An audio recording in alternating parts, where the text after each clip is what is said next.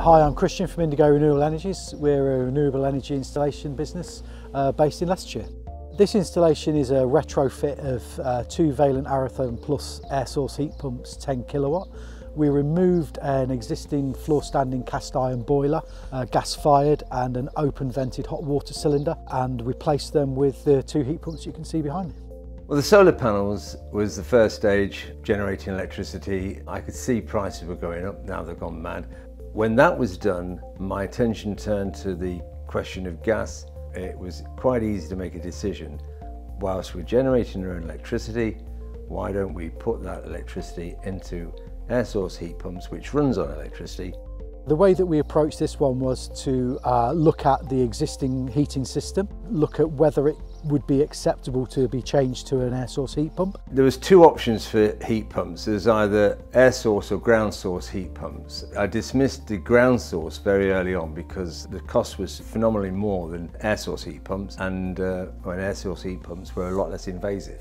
Quite honestly, the gas boiler that he had was so old and tired that we felt that we didn't really have to persuade him in any way because the heat pumps we knew were going to outperform the comfort conditions in the home from the existing gas boiler anyway.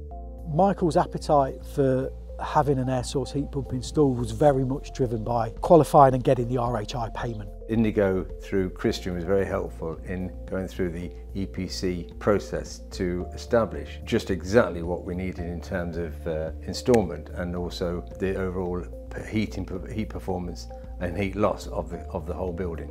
I had to be really clear with Michael about what was expected of him with regards to his ongoing commitments to Ofgem and what we had to do to make sure that the system was installed correctly to MCS guidelines to make sure that he was eligible for it.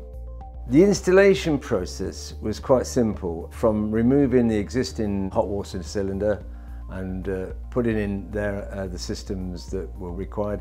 Very complicated but very swiftly done. So the first step was to remove the cast iron boiler and the hot water cylinder, uh, give the system a full power flush so that when we were putting our new system on the system was clean. Then we went ahead and fitted uh, unvented hot water cylinder, two aroTHERM Plus heat pumps that you can see here and a 200 litre buffer vessel. Choosing the particular product in the Vaillant range was uh, something that uh, Christian guided me through. The reason that we used the aroTHERM Plus on this project was because it is uh, a reasonably leaky house.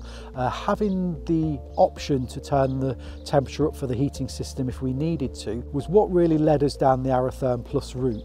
We feel confident that when we install the Vaillant product that not only do we get the support throughout the installation process, but afterwards, if we give any of the team a call on the technical line, we can discuss with them any problems we have, any commissioning issues we have. So that's been really important for us uh, to be able to support the customer, not only from our engineer's point of view, but from Vaillant engineer's point of view as well.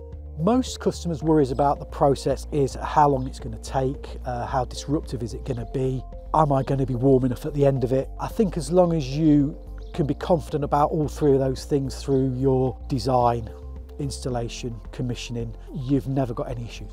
It taught me a few new things about the Vaillant product. Uh, we used a wireless controller for the first time here, so understanding how that receiver's wired into the system, how the wireless controller works. I would say that the product is excellent. It uh, was doing exactly what we wanted, both for water and for heating the, the home. And all we can think is that we look forward to continuing for years.